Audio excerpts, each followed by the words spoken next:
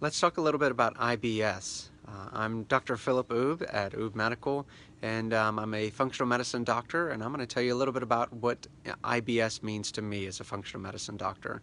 So, IBS, or irritable bowel syndrome, has a wide array and constellation of symptoms, and chances are, if you're having any bowel discomfort that can't be explained by any, any sort of infection or anything in conventional med medicine, that you're going to be diagnosed with IBS. IBS is basically a wastebasket term by the conventional medical doctors basically saying we're not sure what's going on. IBS symptoms can range from just occasional tummy aches to constipation to diarrhea to mucus or blood in your stool, and then some people even fluctuate back and forth from constipation to diarrhea.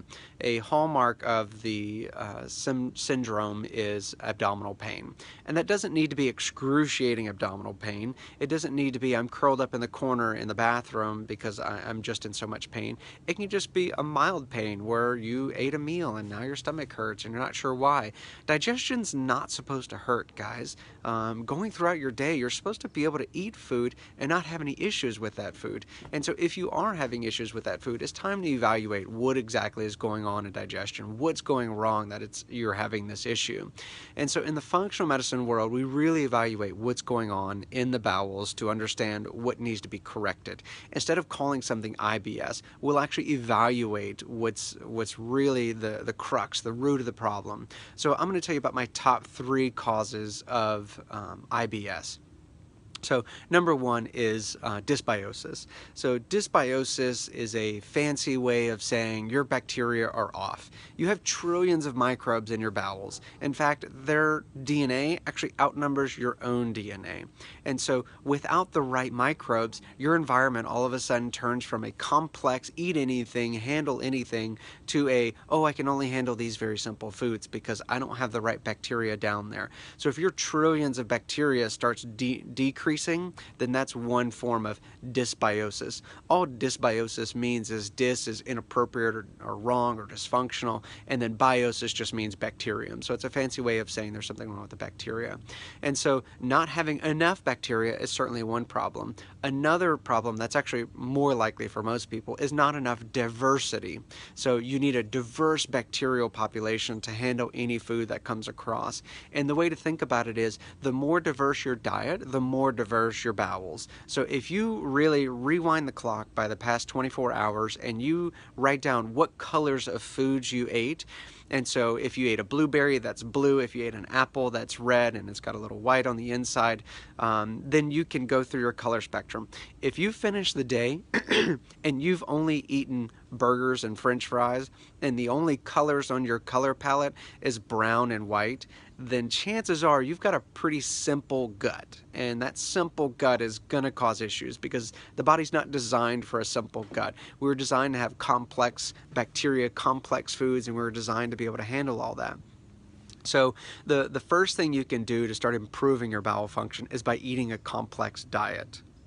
Number two cause of uh, IBS or irritable bowel syndrome is going to be inflammation. So inflammatory processes going on inside of the bowels is a significant reason to have abdominal pain. That just makes sense. If your immune system is turned on towards the food you're eating, then it's going to hurt. That's all the immune system does is create inflammation. And inflammation, if you've ever cut your finger, tells you, okay, it hurts, it's red, it's swollen. That's no different from uh, your immune system attacking food inside your bowels. The top two culprits of food irritants that stimulate the immune immune system are gluten and dairy. And people often consider dairy as a lactose, and so lactose intolerance is a completely is different issue than um, dairy sensitivity. You're sensitive to protein, and so actually it's the protein in dairy products. So technically butter or ghee is actually fine to eat on a dairy-free diet, but the top two triggers are gluten and dairy. So if you're having issues, those are the first two things to remove. The third cause of IBS is actually insufficiency. So the digestive tract has to create several enzymes and chemicals in order to digest your food fully. And so in the stomach, it has to create stomach acid. And then when the stomach acid is appropriately digested the food, the, the food then moves into the small intestine. When it gets to the small intestine, then it has to make bile, um, and the bile is released by the gallbladder. Now, if you don't have a gallbladder, your bile is still made by the liver, and that's a, a whole other story in itself. So, people that have had gallbladders removed can suffer from biliary insufficiency. So, we've talked about stomach acid deficiency, we've talked about biliary insufficiency, but another key factor is actually pancreatic insufficiency. So, the pancreas makes enzymes. Many people think of the pancreas as the, the diabetes organ since it makes the insulin, but um, the main key feature of the pancreas is to make digestive enzymes enzymes that help you break down your food. If you want to digest and absorb your food in a timely manner, because food doesn't stay in the intestines forever, it keeps moving. So you either absorb it or it moves along. So you need these enzymes to break down the, the pieces of food into small microscopic uh, molecules, and then your bowels can finally absorb them. So without these enzymes, you're definitely going to have pain, uh, you're going to have poor absorption, and if food isn't absorbed properly, then it's going to feed the wrong bacteria, and the wrong bacteria are going to grow, and then that's back to problem number one, dysbiosis. So what I want to tell you is that IBS has numerous causes and you need to be evaluating those actual causes. One of the first things I recommend for anyone with bowel trouble is actually a stool study because the only way to really see what's going on inside of the bowels is to analyze a, a full comprehensive stool study. Now many doctors can order a stool study and basically they're just looking for parasites but nowadays we can test do you have enough pancreatic enzymes? Do you have enough stomach acid? What's your bacterial balance looking like? How many of each do you have? What's the diversity looking like? Is there inflammation going on? Is there there signs of food irritation? So if you're struggling with IBS and not getting the answers from your conventional medical doctor, then seek out a functional medicine doctor. Look further. There's solutions out there for you. Stop hurting, stop suffering, stop running to the bathroom with, with urgency to, to, to have a bowel movement. There are answers out there. You have to keep looking.